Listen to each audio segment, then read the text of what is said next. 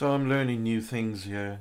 Um, sometimes feels like I learn new things and forget other things. So I probably already knew this at some point in the past, but forgot about it. But that's priorities. Um, it looks like Trump not necessarily lost technically. um, there's you know America. You got such you you're too liberal with even your own politics, and it's not politics anymore. It's a popular popularity contest. Um, it's never really finalized till the 14th of December. I've just learned. Um, same as every other election has passed, apparently. Now,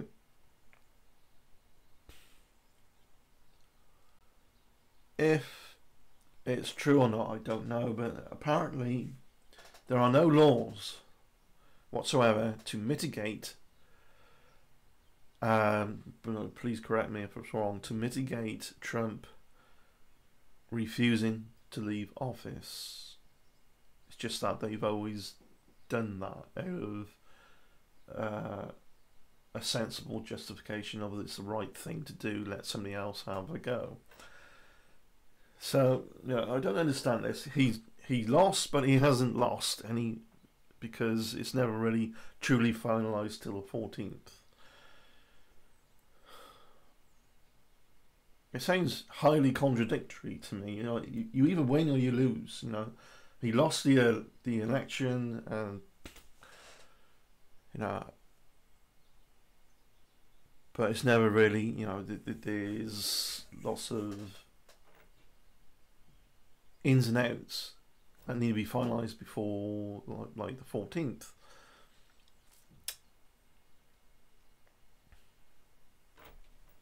Doesn't tend to happen like that in uh, like a European country, maybe. Um, not trying to say it should happen a particular way in America, but there's, there's definitely big, huge gaps in here that are open to to invite games being played anyway. Um, corruption and um, you know just bad gamesmanship.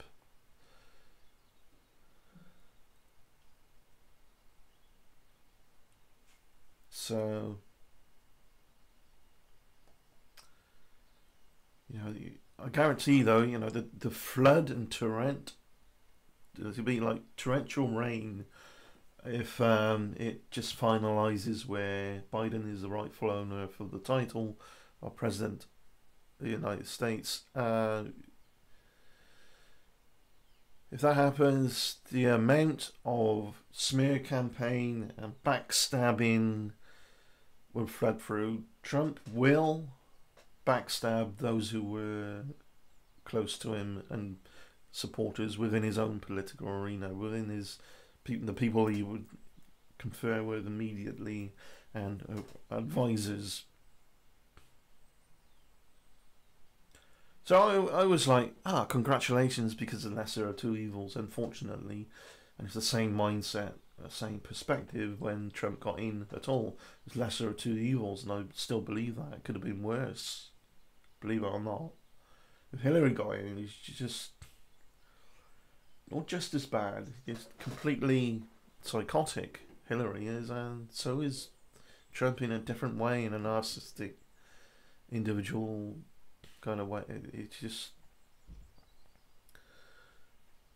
the it's sad when leaderships, uh, the, the majority of leadership, become so erroneously egotistic and self-important and foolish, when the smartest people of the world are struggling to get jobs. But you know, there's there's there's a difference between being smart, intelligent, and being able to apply it and being clever. the cleverest people are not the smartest people. There's a big difference here, and you see that all the time. That's a big problem. People get gaslighted into thinking the clever people are the ones we should appoint to be in authority because they come up with clever ideas, but it's not smart ideas. It's clever manipulation of people, gaslighting people, rather than actually showing uh, an aspect that's not an echo chamber. Um, you know, Trump's supporters and Trump himself, it just, there's a huge amount of similarities between that and this idiot, this complete dim-witted lowlife of complete bullshittery Jason Smith. All his followers, who, who the ones that really, really suck up. Not the ones who watch because they got something to laugh at. Not laugh with, laugh at. The ones that really, really suck up are dumber than he is. All they want is an echo chamber to say, oh, Jason's right, he's justified, he's great researcher, prolific documentarian, right? And you get to see a documentary from him. But this is exactly the same. But even worse, it's happening top authority. I, I say top authority, but people make that error as well. They make that mistake that they think if you're the president of America, suddenly you're now the most powerful person in the world. Not true. Not really not true. Corporations, the big players, the big companies that work for stuff for, for military as well, and pharmacy and uh, construction of technologies here and there they're the big players. They're the the ones that own America, really. President is just signing contracts, uh, and, and should have wise ideas as why the contract should be signed in the first place and where the money should go uh, in a justification and so on. Like I've, I've said before, but the public are not given details of that. You're not given politics, you're given a popularity contest. It's like many Americans think they know what politics is. And the way it's going, they probably, I mean, there's some really intelligent Americans out there. They, they know what political stance is really, you know. But uh, some who might not be that aware of the, of the bigger picture then could probably be forgiven for thinking now, thinking that politics and a popularity contest are exactly the same thing. They're not. Popularity contest is a popularity contest. Politics is politics. It's not a popularity contest. You're not sp supposed to like or hate. You know, you surely you, you know if you hate Trump, fine. If you love him, fine. If you on the fence, fine. That's got fuck all to do with him doing his job. Um, and you see that happening in the UK as well. And when somebody gets uh, appointed to be prime minister, the the smear campaign in the newspapers, uh, oh, um, had this personal time in their life where they was a bit of a dick, bit of an idiot. And they use that to manipulate people's emotions into, oh, don't, I'm not going to Trump for him, vote for him because I don't like him. Regardless of the fact, will they be able to do a relatively better job than the previous one, or will will it be better for a more of a majority than a minority? And I say that because you cannot have a political success without somebody losing out somewhere. And but the the attempt, the idealness in an ideal world it would be the majority have what they they've been promised. But there's always going to be some people who lose out, whether majority or minority. You cannot have your whole cake in politics and eat every slice, or there's some you got some crumbs left.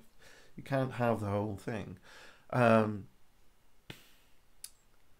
but that doesn't even that's not even beginning to be encouraged to be think about, thought about within a popularity contest.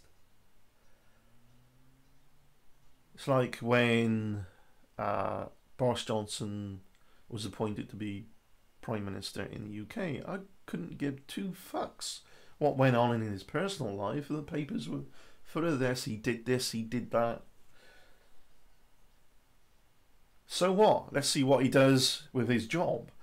Um, you know, if I had a massive argument with people really close to me and, and family, and then I was going to a job interview, do you think they care about my my family, personal life? No, they want to see if I can do a good job.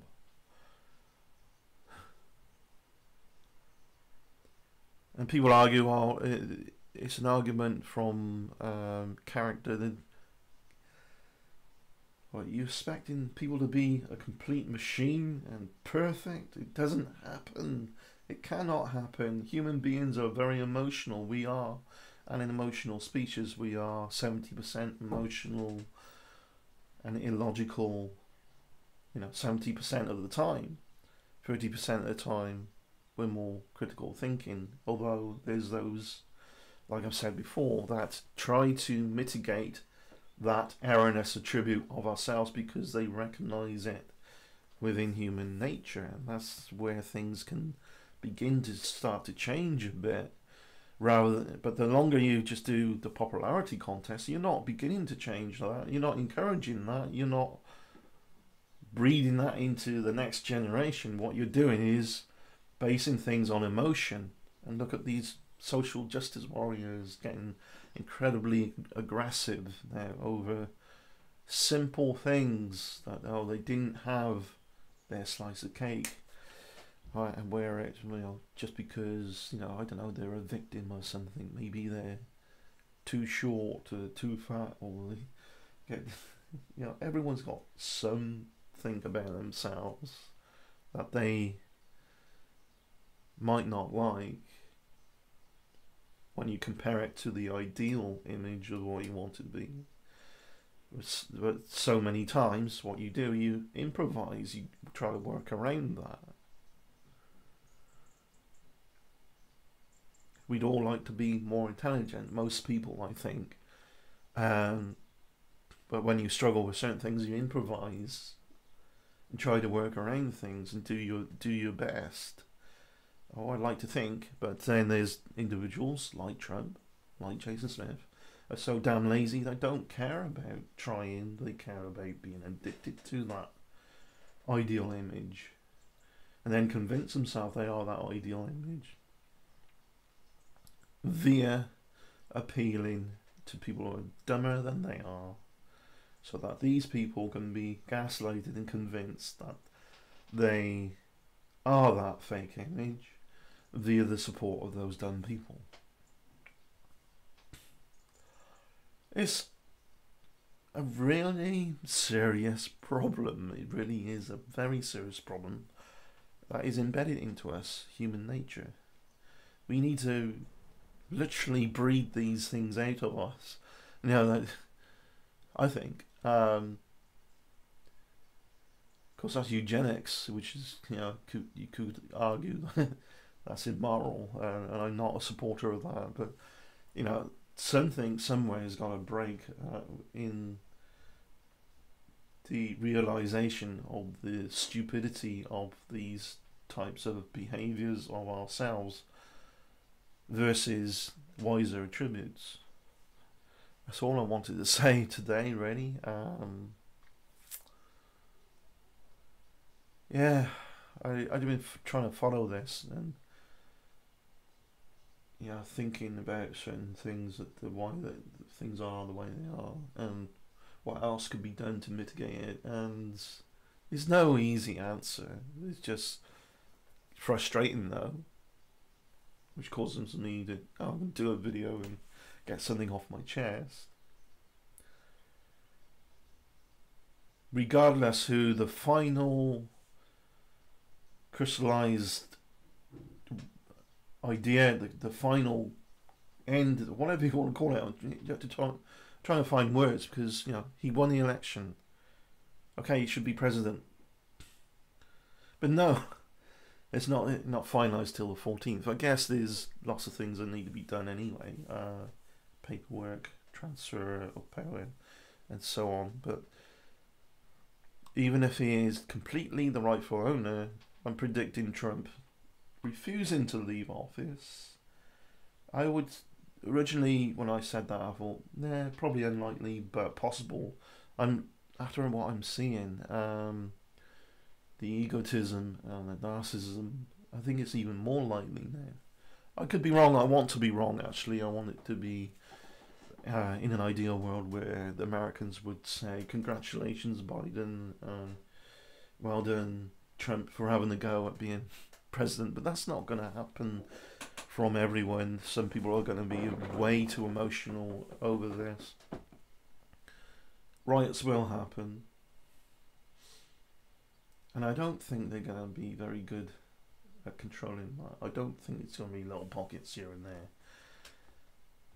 It's going to get out of hand.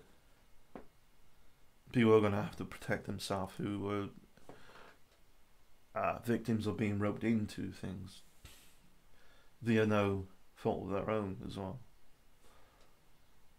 I want to be wrong about that, you know, bigger picture, I probably don't know enough. And, you know, it, you know, I there's not, I not, I don't do these videos to put out. Here's what I want to happen. I'm putting them out. Here's what I think might happen, and what it looks like because of, and give you the information as to why certainly one of the reasons why I think it's going to turn ugly is the same reasons as many other people do, because Trump is a narcissistic piece of crap. It's that simple. You love him or hate him. And his followers are just dumb as dirt. But that's what he's cultivated. He's eliminated anyone who tells him or questions his authority. Jason Smith does the same thing. You get blocked, you get banned, you get kicked out. But if you're supporting him in saying, "Oh, great show, uh, great researcher, you're knowledgeable, and great," well, it's completely a lie. He rather big on himself out via the lies. It's kind of almost spooky with the similarities with that going on, and like I said, it's a aspect of human nature that needs to be addressed. It's almost I tweeted back to somebody this morning and said it's almost as if that we need an alien psychotherapist to address the these aspects of human idiocy, idiocy or at least something that is outside of our own fuckery. Maybe an AI. Who knows? That that's going to happen one day anyway. It's beginning to happen, I'm sure. Uh, artificial intelligence uh, therapist, you know, advisor, and things like this. Yeah. So the video, AI is something that does fascinate me. Anyway, thank you for watching. I look forward to doing another video soon. I really hope things are going to pan out smooth over. That's what I want to see, but it's not what I see happening. It's what I want to see, but you know, it's possible. Good luck, everyone. Good luck. Cheers. Bye.